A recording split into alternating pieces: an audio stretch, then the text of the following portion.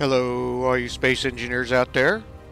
Commander Kingfish here, and it is Mod Wednesday. Well, today's mod is a couple of new blocks. Uh, it is small grid gate and large grid tall stair.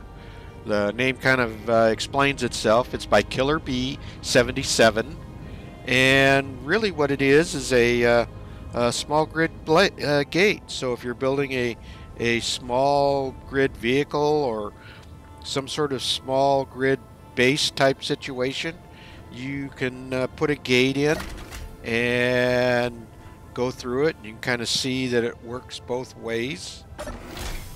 So that gives you some more options for building.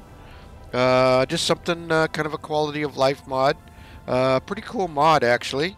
Uh, and then it also he also has built a uh, large grid tall ladder, which is kind of nice. I've always had to put two ladders together uh, to get up to this point, and a lot of times that involves having a problem with trying to get it to connect and that sort of thing.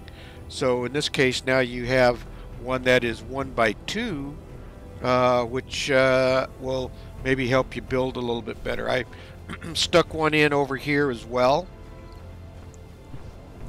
And uh, you can kind of see what it goes up to. Uh, so you can kind of walk up to the edge. Uh, it'll get you up to catwalks and stuff like that. So that is the two mods this week.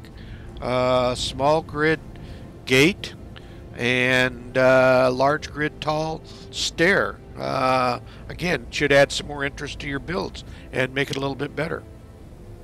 Uh, I got the link down below. Please check out uh, uh, Killerbee77's uh, mod and feel free to give it a shot. All right, all you uh, space engineers out there, keep building away. If you liked the video, please hit that thumbs up, and it really helps out the video. Uh, please subscribe. That really helps the channel out a lot. Uh, and with that, Commander Kingfish is out of here and I will see you all in the next video. Thanks for watching, everyone.